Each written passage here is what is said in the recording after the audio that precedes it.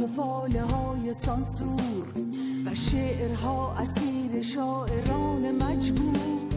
روی پرد سینمای قیچی خورده.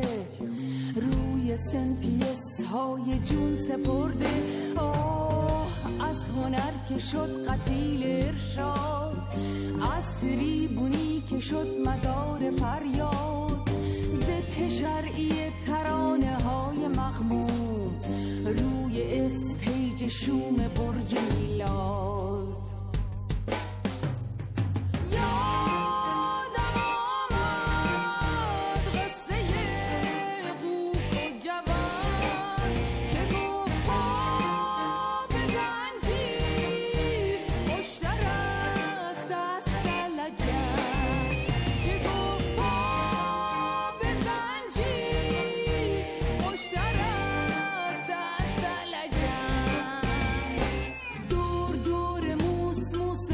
شوش شهر عرصه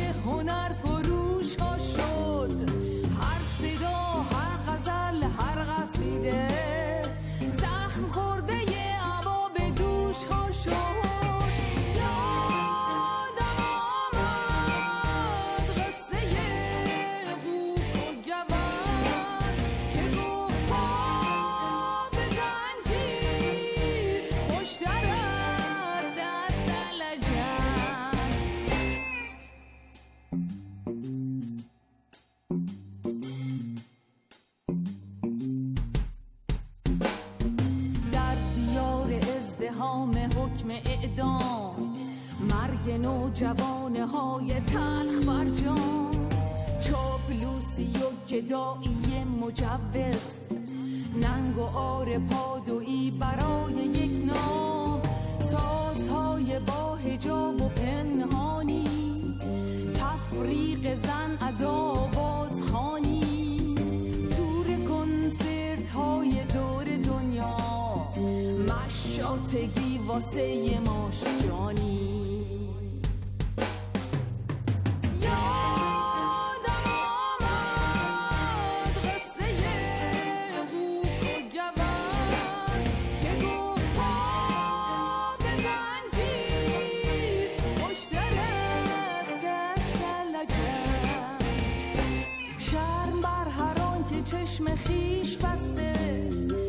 که رشته هنر به ریش بسته.